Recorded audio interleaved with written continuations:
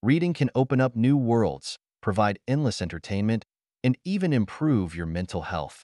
If you've been wanting to read more but aren't sure how to start, I'm here to help.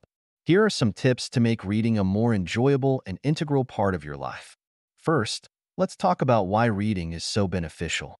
Reading regularly can reduce stress, improve brain function, and even boost empathy. It's a wonderful way to escape the hustle and bustle of daily life and immerse yourself in new experiences and perspectives.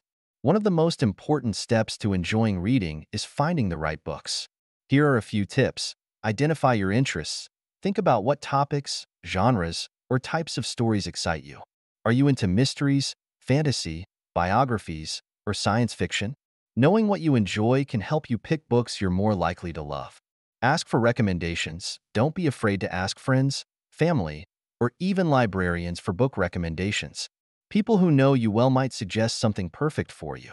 Read reviews and synopses. Before committing to a book, read its synopsis and a few reviews. This can give you a good idea if it's something you'll enjoy. Now, let's talk about how to make reading a habit. Set realistic goals. Start with small, achievable goals. For instance, aim to read for 10 to 15 minutes a day. Gradually increase this time as reading becomes more habitual. Designate a reading time. Find a specific time each day to read. It could be in the morning with your coffee, during lunch breaks, or before bed. Create a comfortable reading space. Set up a cozy, quiet spot where you can read without interruptions. Good lighting and a comfortable chair can make a big difference. Variety can keep your reading interesting. Alternate genres. Don't stick to just one genre. Mixing things up can keep your reading experience fresh and exciting. Read different formats. Try out different formats like ebooks, audiobooks, and graphic novels. Audiobooks can be especially great if you're on the go or prefer listening to stories. Join a book club.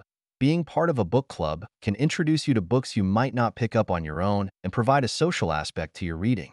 It's normal to feel unmotivated at times, but here are some tips to stay on track. Track your progress. Use a reading app or journal to track the books you've read and the ones you want to read. Seeing your progress can be very motivating.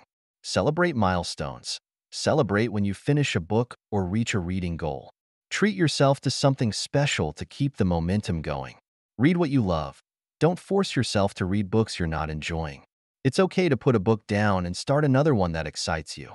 Reading is a journey, and finding joy in it can enrich your life in many ways. Whether you're a seasoned reader or just starting, these tips can help you dive into the world of books with enthusiasm. Happy reading!